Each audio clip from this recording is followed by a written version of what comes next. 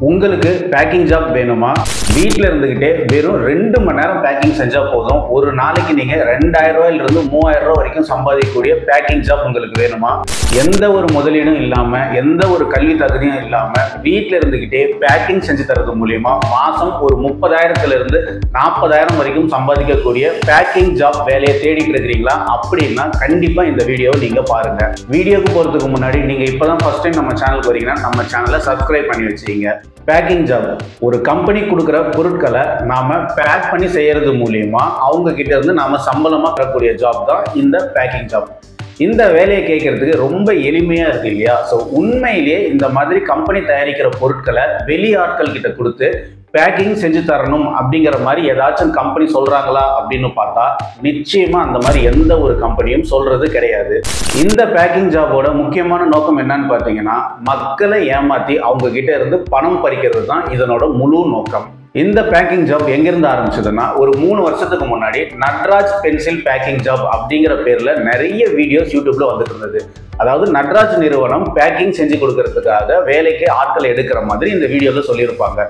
இது ரொம்ப வைரலாக போனது. இந்த விஷயம் நட்ராஜ் பென்சில் கம்பெனியோட காதுக்கும் போனது. அவங்க உடனே அவங்க வெப்சைட்டில் ஒரு நியூஸ் அனௌன்ஸ் பண்ணாங்க.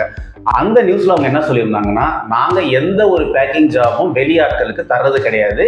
எங்க பேரை பயன்படுத்தி நிறைய பேர் மக்களை ஏமாத்தி பணம் பறிச்சிட்டு இருக்காங்க. நீங்க விழிப்புணர்வோட இருங்கன்னு சொல்லி நட்ராஜ் கம்பெனி அவங்களோட அபிஷியல் வெப்சைட்ல ஒரு நியூஸ் ஒன்று அனௌன்ஸ் பண்ணாங்க. அதுக்கப்புறம் அந்த ஸ்கேமர்ஸ் என்ன பண்ணாங்கன்னா பென்சிலை கொஞ்சம் ஓரம் கட்டிட்டு மற்ற ப்ராடக்ட்ஸுக்கும் வந்தாங்க. உதாரணத்துக்கு கார்மெண்ட்ஸ் ஏன்னா நமக்கு எல்லாத்துக்குமே தெரியும் கார்மெண்ட்ஸில் பேக்கிங் அப்படிங்கிறது ஒரு முக்கியமான ரோல் வகிக்குது அப்படின்ட்டு.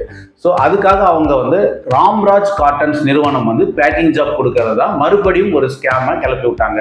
இந்த விஷயம் ராம்ராஜ் கம்பெனி காதுக்கு போகும். அவங்களும் ஒரு நியூஸ் அனௌன்ஸ் பண்ணாங்க. நாங்கள் எந்த ஒரு பேக்கிங் ஜாப்பையும் வெளியாட்களுக்கு தர்றது கிடையாது. எங்க பேரை பயன்படுத்தி யாராச்சும் பேக்கிங் ஜாப் தரதா சொல்லி உங்ககிட்ட பணம் பறிச்சாங்கன்னா அதுக்கு நாங்க பொறுப்பு கிடையாது. நீங்க விழிப்புணர்வோட இருந்துக்குங்க அப்படிங்கிற மாதிரி அவங்களும் அபிஷியலா ஒரு நியூஸ் அனௌன்ஸ் பண்ணாங்க. இந்த ரெண்டு கம்பெனியோட ஸ்டேட்மெண்ட்ல இருந்து நமக்கு என்ன தெரியுதுன்னா பேக்கிங் ஜாப் அப்படிங்கிறது ஒண்ணு எந்த ஒரு பெரிய கம்பெனியும் நமக்கு கொடுக்கறதே கிடையாது. அப்படின்னா இந்த ஜாப் எல்லாம் நமக்கு கொடுக்கறதா சொல்றது யாரு? பாய் மும்பை பாய். வேற யாரு? நம்ம வடக்கன்ஸ் தான். வழக்கம் போல அவங்க பல விதத்துல ஸ்கேம் பண்றாங்க. இப்போ ட்ரெண்டுக்கா இந்த பேக்கிங் ஜாப் வேலை தர அப்படிங்கிற மாதிரி நம்மள ஸ்கேம் பண்றாங்க. சரி இதெல்லாம் ஒரு பகுதி இருக்கட்டும். நீங்கள் யூடியூப்பில் போயிட்டு பேக்கிங் ஜாப் அப்படின்னு பார்த்தீங்கன்னா நிறைய தமிழ் பேசக்கூடிய யூடியூபர்ஸ் வந்து பேக்கிங் ஜாப் தரேன் அப்படிங்கிற மாதிரி நிறைய வீடியோஸ் தொடர்ந்து போட்டுக்கிட்டே இருப்பாங்க. ஸோ இதெல்லாம் உண்மையா? அப்போ தமிழ் ஆளுங்க பேக்கிங் ஜாப்ஸ் நமக்கு கொடுக்குறாங்களா அப்படிங்கிற கொஸ்டின் உங்களுக்கு வரும்.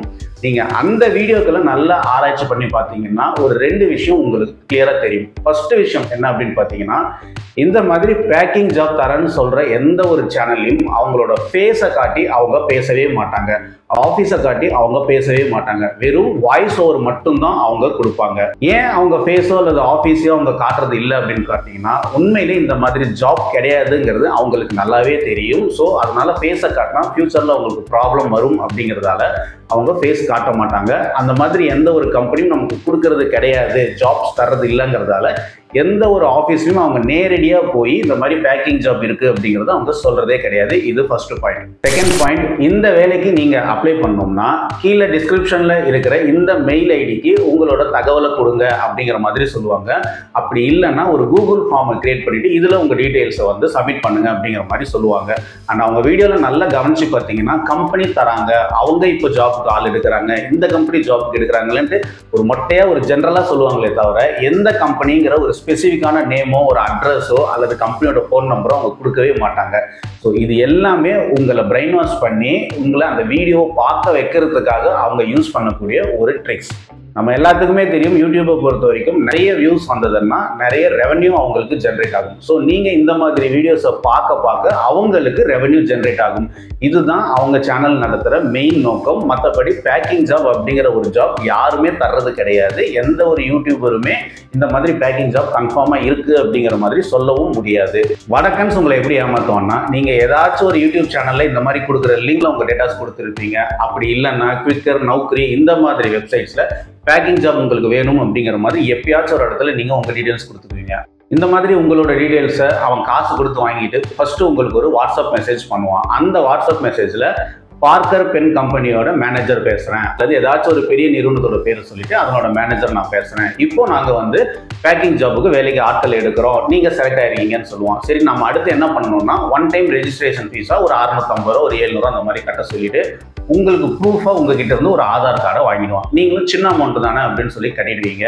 அதுக்கப்புறம் அவன் என்ன பண்ணுவான்னா ரெண்டாயிரம் கொடு மூணாயிரம் கொடுன்னு சொல்லி உங்களை தொடர்ந்து உங்ககிட்ட காசு கேட்டுக்கிட்டே இருப்பான். நீங்கள் காசு தர முடியாது அப்படிங்கிற மாதிரி சொன்னீங்கன்னா அடுத்தவன் என்ன பண்ணுவான்னா உங்களோட ஆதார் கார்டு ப்ரூஃப் என்கிட்ட இருக்கு. நீ என்கிட்ட ஒரு லட்ச ரூபா அல்லது ரெண்டு லட்ச ரூபா லோன் வாங்குற மாதிரி நான் ஃபேக்காக ஒன்று ரெடி பண்ணி உன் மேலே கேஸ் போடுவேன். அப்படி நான் கேஸ் போடாமல் இருக்கணும்னா எனக்கு நீ ஒரு அஞ்சாயிரம் கட்டு பத்தாயிரம் கட்டுன்னு சொல்லி உங்களை மிரட்டி உங்ககிட்ட இருந்து பணம் பறிச்சுக்கிட்டே தான் இருப்பான். பேக்கிங் ஜாபோட முழு நோக்கமே அட்ராக்டிவான விளம்பரங்களை கொடுத்து உங்களை உள்ள இழுத்து உங்களை ஏமாற்றி உங்ககிட்ட இருந்து பணம் பறிக்கிறது மட்டும்தான் இதனோட முழு நோக்கம். ஸோ பேக்கிங் ஜாப் அப்படிங்கிற ஒரு ஜாப் கிடையவே கிடையாது. நீங்கள் எந்த விதத்தில் இந்த ஜாபோட அட்வர்டைஸ்மெண்ட் பார்த்தாலும் அது அத்தனையும் ஃபேக்கு தான். ஒருவேளை நீங்கள் இந்த மாதிரி பேக்கிங் ஜாப்ல ஏமாந்துருந்தாலோ அல்லது உங்களுக்கு இது மாதிரி அனுபவம் இருந்தாலும் கமெண்ட்ல மென்ஷன் பண்ணுங்க. இதுக்கப்புறம் பார்க்குறவங்களாச்சும் இந்த ஜாப்ல இருந்து ஒரு விழிப்புணர்வோடு இருந்துக்குவாங்க. இப்போ சொல்லுங்கள் இந்த பேக்கிங் ஜாப் வேலை உங்களுக்கு வேணுமா?